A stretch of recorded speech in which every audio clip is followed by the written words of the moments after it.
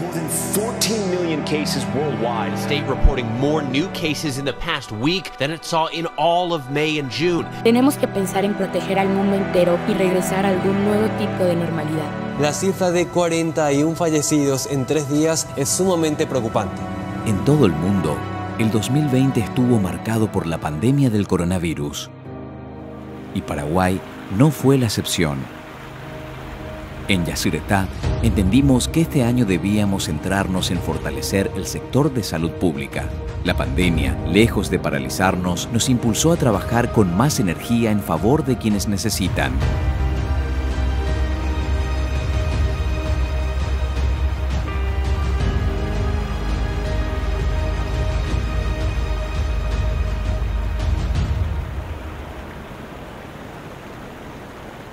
Cumpliendo las indicaciones del Gobierno Nacional, hemos entregado equipos de última generación nunca antes visto en el sector público en numerosos hospitales.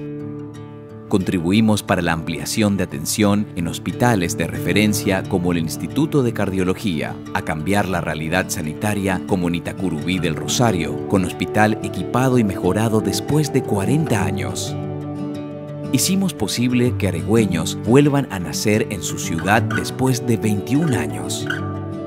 Donamos consultorios móviles totalmente equipados con terapia intermedia para la atención de casos respiratorios.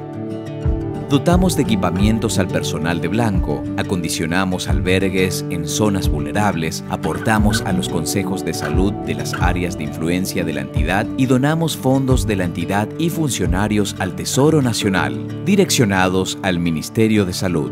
Y tantas otras áreas donde la entidad binacional adquiere un, un rostro humano, se viste casi con un guardapolvo y es lo que necesitamos hoy en día para salir adelante. No hemos dejado de lado otras acciones sanitarias y así iniciamos el año con campañas y mingas ambientales en la lucha contra el dengue. Dimos soporte a la realización de cirugías reconstructivas que cambiaron vidas a través del programa Ñamatiró, que benefició a centenares de pobladores de todo el país y se desarrollaron en Itapúa y Misiones. Yo no podía estirar, nada, no podía alzar por, porque me molestaba. Y ahora gracias a eso voy a poder ya hacer. Agradecete y entero que la pende pedido más más poa mediante cuapa una gela ocho peramos la se bebé. Instalamos unidades de salud familiar. Se proveyeron e instalaron equipos en un nuevo centro de hemodiálisis en Misiones y ante la notable bajante del río Paraguay han trasladado a Asunción seis motobombas para apoyar a la ESAP en el trabajo de abastecimiento de agua potable. Aportamos el mejoramiento de la calidad de vida de las familias con la instalación de numerosas plantas de tratamiento de agua potable que benefició a pobladores de todo el país. Gran parte de ellos nunca habían contado con el servicio.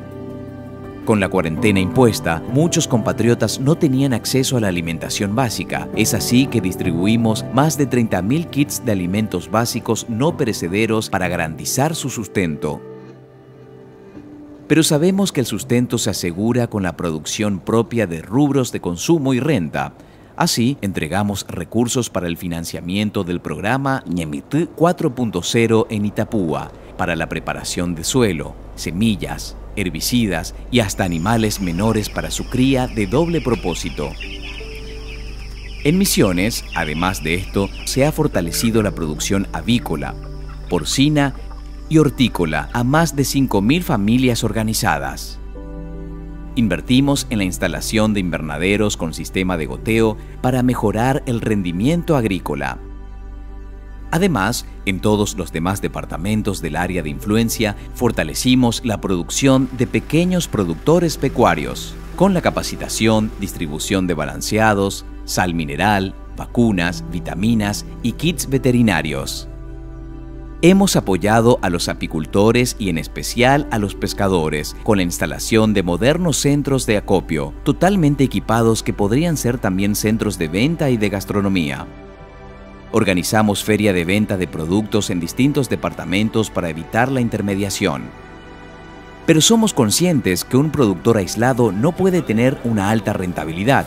Por eso, y seguros de que la inversión en infraestructura trae trabajo, crecimiento turístico, comercial y productivo, hemos realizado la pavimentación de numerosos caminos a ciudades antes totalmente aisladas, como Corateí y Yabeburú.